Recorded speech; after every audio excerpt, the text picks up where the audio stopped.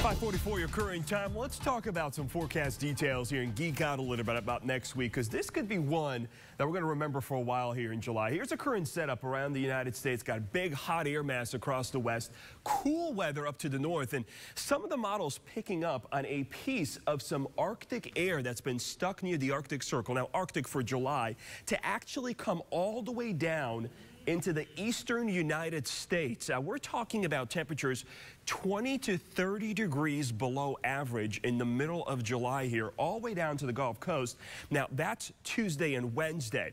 The models then pick up on a low pressure to head along the Gulf Coast Wednesday into Thursday, spreading rain into the state. Now, if that actually happens, we could see some very cool temperatures. Now, these are possible afternoon highs next Thursday. 67 in Little Rock, 65 down toward Arkadelphia with heavy rain.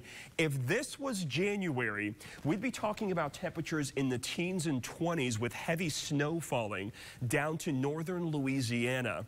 That's not the case, thankfully. It is July, but we could see readings some 25 to 30 degrees below average for at least a couple of days next week.